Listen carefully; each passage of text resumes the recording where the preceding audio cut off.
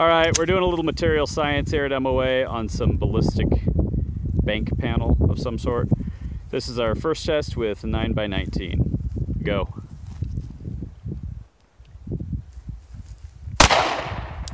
Okay.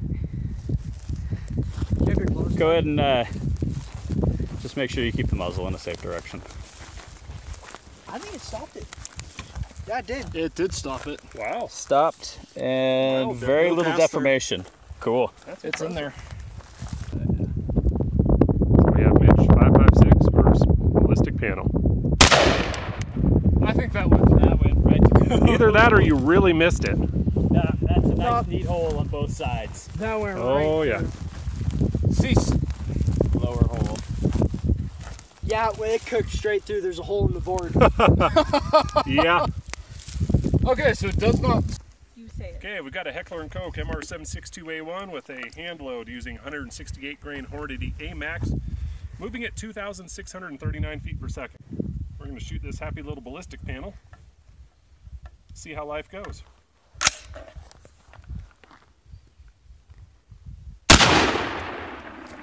Not very well. I'd say it went through. He's dead, That Jim. looks bad.